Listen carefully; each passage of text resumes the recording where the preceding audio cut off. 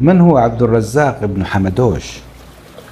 هو أبو محمد عبد الرزاق بن محمد بن أحمد بن حمدوش أو حمادوش بن علي المالكي الجزائري مولدا ومنشأ وموطنا ولأن اسم أبيه محمد واسم حمدوش مشهور بين أهل الجزائر والعالم ولد عبد الرزاق بن حمدوش في مدينة الجزائر العاصمة في شهر رجب سنة 1107 للهجرة الموافق لشهر فبراير 1695 ميلادي.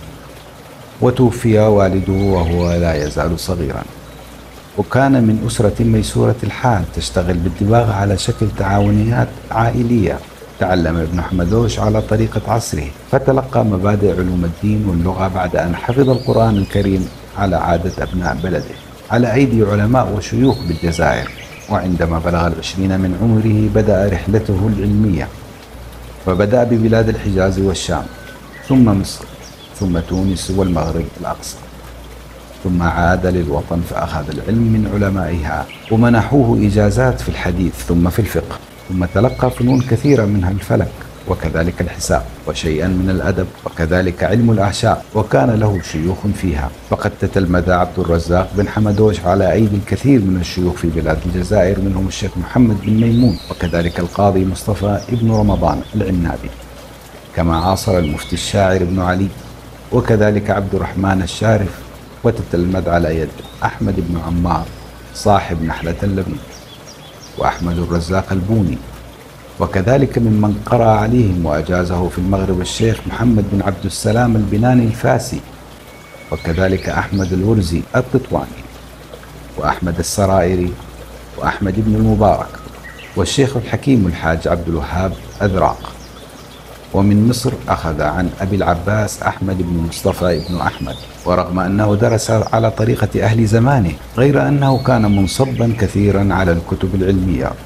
ومن كتب العلماء الذين درس لهم في الطب والمنطق ابن سينا وكذلك الأنطاكي وكذلك ابن بيطار والقلديس وغيرهم من علماء الفرس والعرب واليونان. فكانت له ثقافة معاصريه ولكنه انفرد عنهم بالتخصص في الجانب العلمي من هذه الثقافة. فنجد ابن حمدوش يميل بطبعه إلى ما يسمى اليوم بالعلوم الرياضية والطبية وما شاكلها وهو صيدلي وطبيب وحساب. وفلكي وفرضي ومنطقي. وقد ألف هذه العلوم كما عرفنا وكما تشهد كتبه التي ذكرها في رحلته. الجوهر المكنون في بحر القانون وهو مفقود أجزاءه الثلاثة والمعروف منها الجزء الأول كشف الرموز والجزء الثاني في كتابه برحلته لسان المقال في النبأ عن النسب والحال.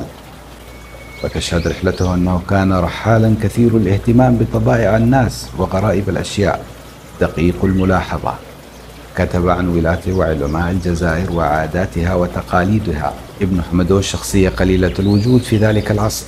ولقد أولى العلماء المسلمين أهمية بالغة لرحلته لتميزها بسرد أخبار سياسية وثقافية واجتماعية في تلك الحقبة من الزمن. وأولى العلماء الأوروبيين بآثاره العلمية وقد طبع ونشر له كتابه في الأعشاب كشف الرموز ونوهوا به واعتبروه خارج عصره. إعداد الهيئة العلمية للجمعية الوطنية للممارسة العلاجية التقليدية والتكميلية ابن حمدوش الجزائر.